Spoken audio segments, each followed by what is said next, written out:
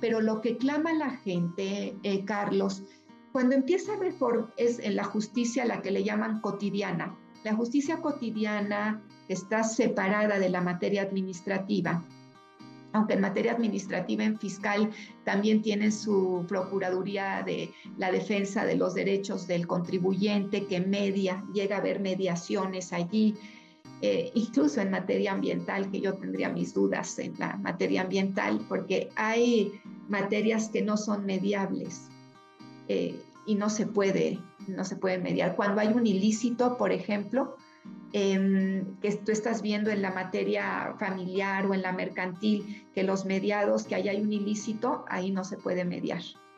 No se puede mediar el Estado civil, me imagino.